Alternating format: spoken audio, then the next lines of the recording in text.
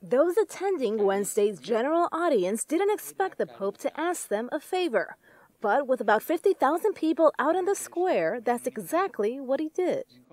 E adesso mi permetto di chiedervi un atto di carità. State tranquilli che non si farà la raccolta, eh? no, no.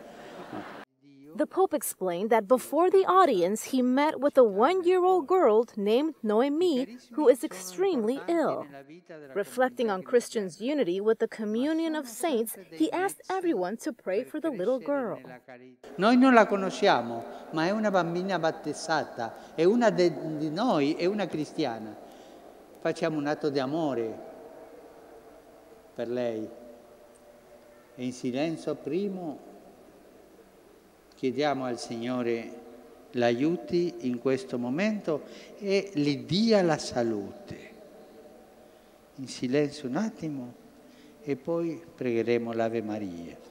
During his catechesis, he explained that the communion of saints is based on the sacraments. It's through the sacraments, he said, that Christians find God, help others, and steer away from false idols. And that's precisely why he emphasized the importance of the Eucharist, baptizing children early on, and the sacrament of confirmation. He especially highlighted confession. È importante quando ci sentiamo peccatori andare al sacramento della riconciliazione. No, padre, ho paura io perché il prete mi bastonerà. No, non ti bastonerà il prete. Tu sai che incontrerei nel sacramento della riconciliazione a Gesù, Gesù che ti perdona. È Gesù che ti aspetta lì. E questo è un sacramento. E questo fa crescere tutta la Chiesa.